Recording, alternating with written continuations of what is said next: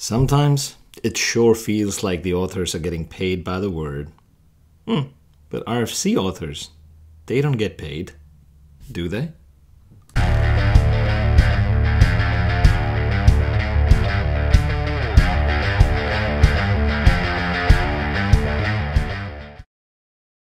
Welcome back to the MVPN video series.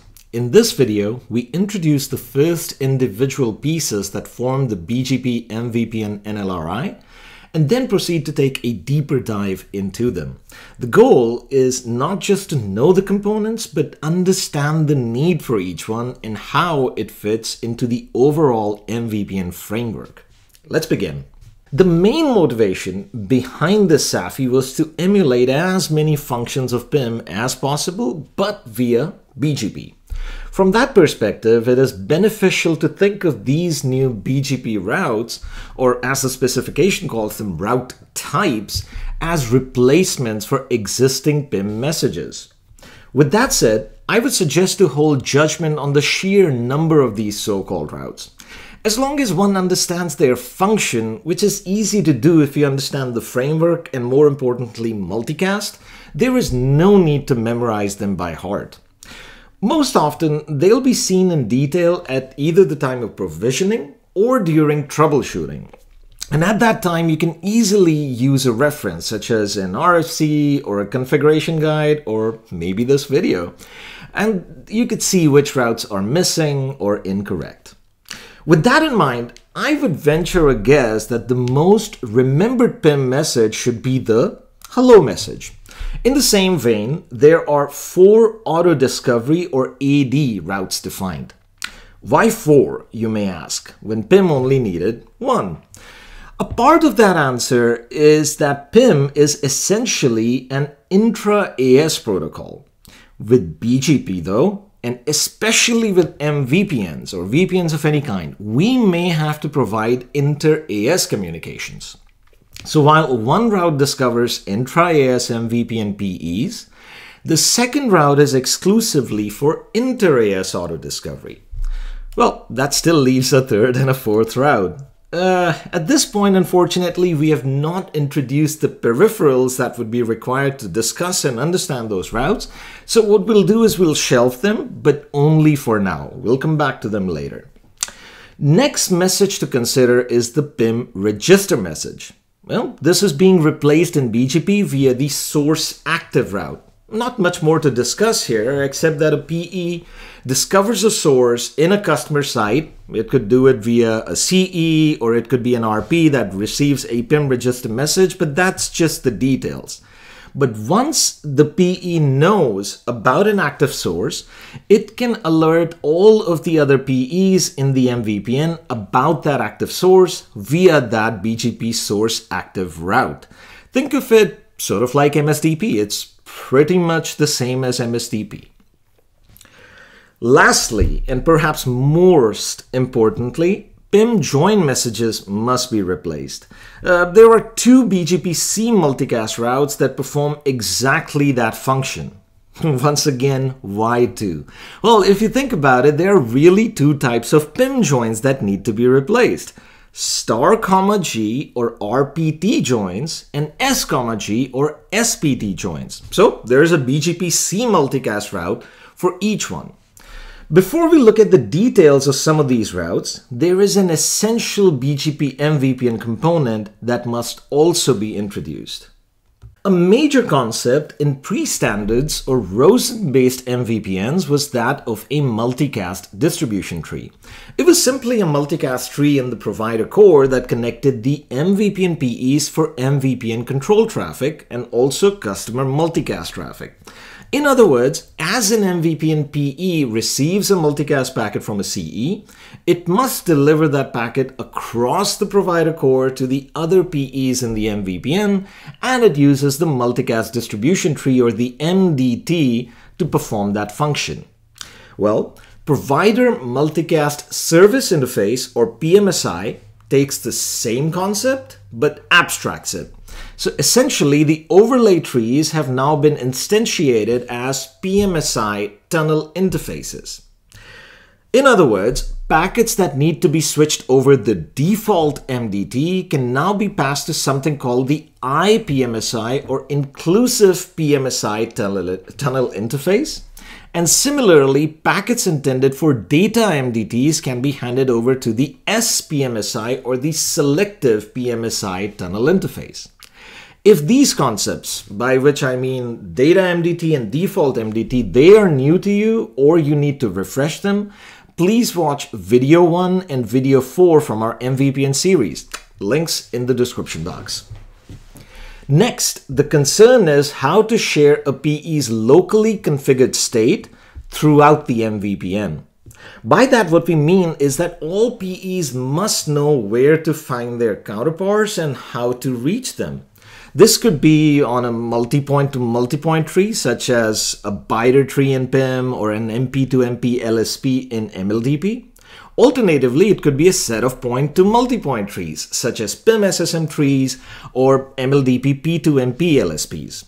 For MP to MP trees, multi-point to multi-point trees, the configuration is much more static, and that we saw a couple of times in our previous videos. For P2MP or point to multi-point trees, the situation could be far more dynamic. Again, for this information, you can refer to our MVPN video 3, which optimizes Rosen GRE or default MDT with the use of PIM SSM groups, essentially a point to multi-point tree. But the gist is just like in that video, where each PE shared its configured PSPG or provider source provider group SSM tree information so that the other PEs could join the SSM tree as leaves. For most core tree protocols, we would need to do something similar. This is where the PMSI tunnel attribute comes into play.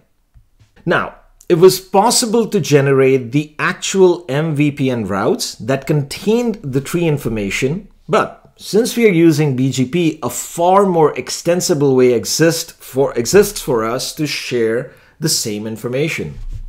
Instead of including the information in the NLRI, we could attach the information to the NLRI as a BGP attribute. So that is what the MVPN designers chose to do. And this attribute is the PMSI tunnel attribute. Once its functionality is understood, the attribute becomes fairly simple. Shelving the flags field for right now, the most important field in this is the tunnel type. This is how next generation MVPN solution is able to scale the model by giving the operator a variety of options to choose from when it comes to the core trees.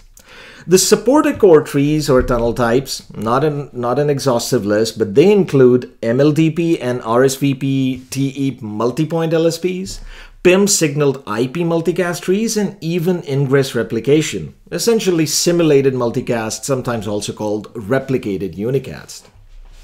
The type of tunnel used by the local PE, well, that is contained in this tunnel type field. So far, so good. Also, let us ignore the MPLS label for a second and skip to the tunnel identifier. Each tunnel type has its own unique or relevant data that it must share. So for example, this data for a PIM tree could be the source IP address and the group number, the PSPG that we just talked about. In other words, that's the SG that the remote PEs can join. For MLDP LSPs, it would be the FEC or the opaque value that the remote PEs must signal via their MLDP processes. We have not covered RSVP yet, but for that core tree, the important information would be the extended tunnel ID and the P2MP ID. That is specific to RSVPTE. Finally, let's talk about ingress repl replication. In ingress replication, the underlying packet is unicast. So in order for the receiving PE to distinguish a true unicast packet from a replicated unicast packet, some additional information must exist in the packet because their destinations are going to look the same. This problem is solved by the MPLS label. Yep, that's the field that we just skipped. So for the tunnel type ingress replication, the PE will also include a locally generated label which it attaches to the ingress replication tree or the packets. So when seen on the data packet, that MPLS label will allow the local PE to decipher the packet as being received on a PMSI. Therefore, the tunnel ID is just a local IP address but must be advertised along with an MPLS label. For a majority of scenarios, that is the main use of MPLS label. There are some advanced use cases, so where you basically take mul or where you aggregate multiple MVPNs and use the same PMSI to do that. And there you also use the label to multiplex. But for our scope, other than IR or ingress replication, the MPLS label advertised is always zero and it is ignored upon reception. So it's not an explicit null, it's just ignored. Lastly, there's only one flag defined so far, and this is the leaf information required flag. Unfortunately, for a single bit flag, the explanation required is, is at least 15 minutes long. So we'll shelve it for right now and come back to it at a relevant time. Those of you who are still here after the PMSI tunnel attribute explanation, rejoice. We're moving to the actual routes. Unfortunately, due to the persnickety nature of the RFC, each of these routes seems to have a name that is like at least 10 words longer. At least it seems like that. But look past the name, the actual routes end up fairly simple, I promise you. Let's look at the first one. It is an auto discovery route which serves to join all the MVPN PEs in the AS to the default MDT, whose other name is that's right, inclusive PMSI or IPMSI. So when you combine this fact, combine the fact that it is a route to join you to the inclusive PMSI and it is an intra-AS route, you can understand the long name.